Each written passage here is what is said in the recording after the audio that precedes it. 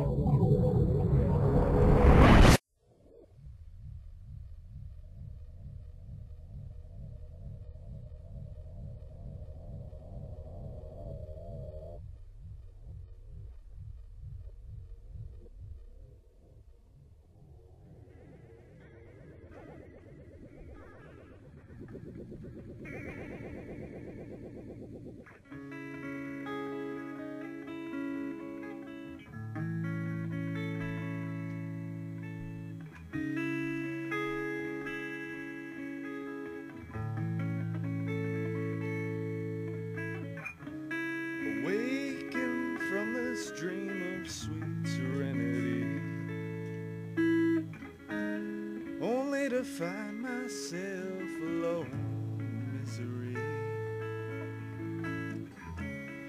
Walls pale and lights dim and burn. My hands are on my feet, I start to stir.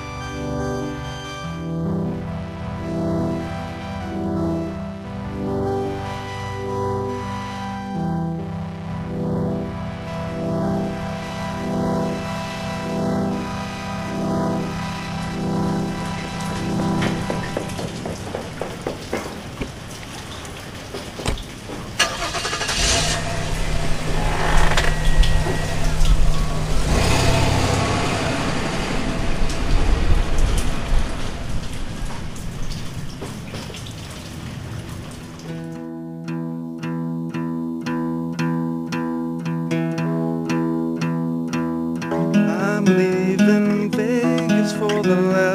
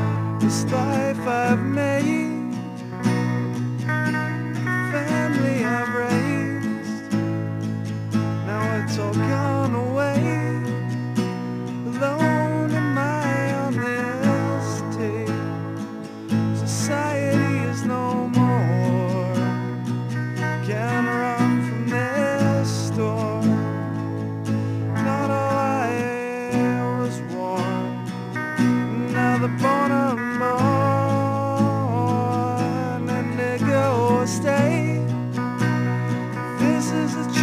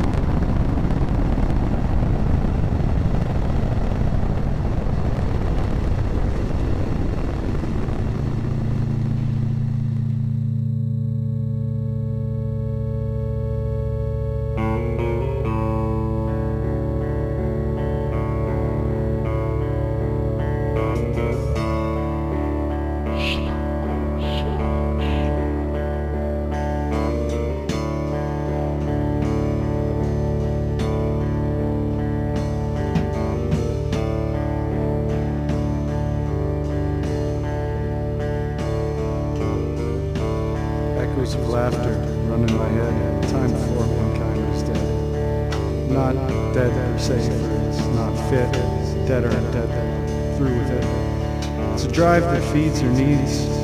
Need to feed on those who still bleed. Why is this? I ask myself. What drives them to think with their mouth? To know the answer would set my mind at ease. But I don't. That's why I flee. Flee free from this world and all. Be at peace as far as I can tell. So now I climb into the black. There is no life.